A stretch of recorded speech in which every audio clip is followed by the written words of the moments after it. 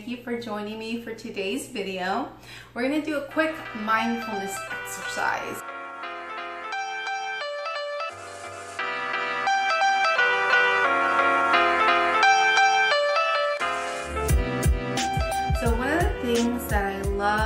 About mindfulness is that you can do it basically anywhere. You can do mindfulness exercises while you're at the store, in line, waiting to check out. You can do it at work in the middle of your breaks. You can even do it in a meeting. so mindfulness exercises are really great. Basically what you're doing is you're taking your focus and you are focusing outward and you can also focus inward. So focusing outward would be focusing on the things outside of you, outside of your body. Focusing inward would be focusing on the maybe your sensations that you're feeling, maybe the thoughts and emotions that you're having, and maybe focusing on like the physical things that are happening in your body, like your breath and your heartbeat, um, and things like that. So I love, love, love to do this, especially on my breaks. I schedule mindfulness breaks on my Outlook calendar so I can take these breaks throughout the day so I can increase my focus. And I just want to mention that meditation and mindfulness isn't about shutting off the outside world and forgetting about everything and then just going into this cave and not worrying about what's going on. What meditation and mindfulness does is help to increase focus and clarity so that regardless of what's going on outside of you, regardless of these things that you cannot control, um, you have the ability to be self-aware with focus, with clarity, um, so, so that when things happen that you don't expect to happen or when things go wrong, you will still have feelings. you'll still get angry, you'll still be upset, you'll still be able to be happy, you still have those abilities. But you can examine yourself, you can examine your feelings and your thoughts.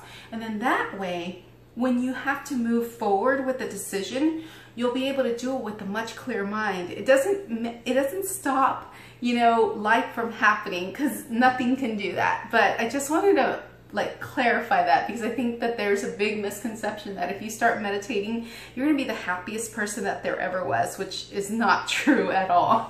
I think you feel your feelings a lot more when you start meditating and when you start doing these mindfulness exercises. So just really quickly, wherever you're at, if you wanna do this mindfulness exercise, let's get started. So just taking inventory of where you're at right now. Like, where are you? Right now I'm in a room with white walls. And just take um, inventory of where your body is. Right now I'm sitting on a chair. I can feel the chair underneath my legs. I can feel my feet touching the leg of the chair. But what about you? What do you feel? Where are your feet? Where are your legs? Where are your hands? Are they resting on your laps? Are they on your stomach? Are your hands touching each other? Just focusing on physical sensation right now. Then let's turn the focus inward. Do you feel your shoulders rising and falling with each breath? Maybe you feel your ribs expanding. Maybe you can feel your heartbeat.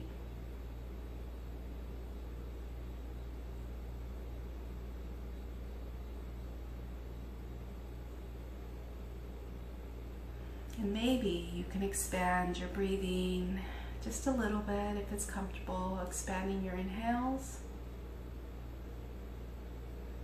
And maybe lengthening the exhale. Then maybe you start noticing your thoughts and your feelings. And that's fine. Just notice them being the observer.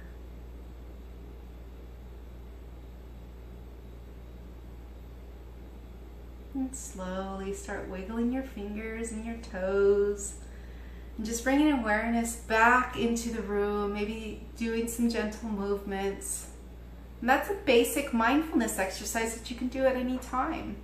Makes me feel way more relaxed, makes me feel way more focused and ready for the rest of my day. So I hope you guys enjoyed that. And I hope I demystified a little bit of mindfulness and meditation for you. So uh, see you guys next time. Bye.